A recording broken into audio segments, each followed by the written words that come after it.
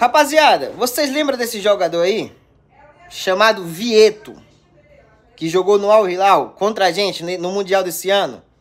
Fez dois gols na, em cima da gente esse ano. Por que Marcos Braz e os dirigentes do Flamengo não tentam contratar esse cara que tá sem clube? Tá sem clube. Meia ofensivo que joga de atacante também. Amassou o Flamengo no Mundial. 29 anos o cara. Tá de graça, a família tá querendo vir aqui pro Brasil. Cara, tenta esse cara aí, cara. Melhor do que o Maurício do Internacional. Que eu não sei se é verdade, né? Mas tem informações falando que estão interessados no Maurício.